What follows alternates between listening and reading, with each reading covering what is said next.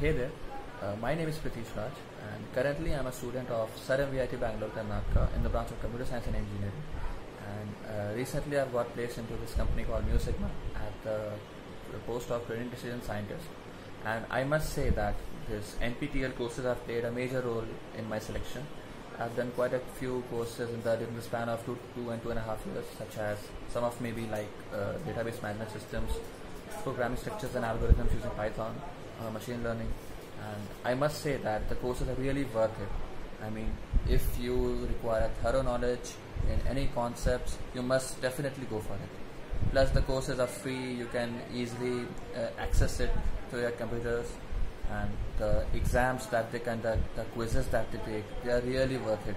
You get an extra knowledge if you if you honestly go through those quizzes and assignments and uh, I must say that I, I, I think I should urge you all to uh, definitely try it once.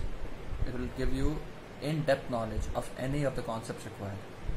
Uh, it's a win-on-win situation in any case. Thank you.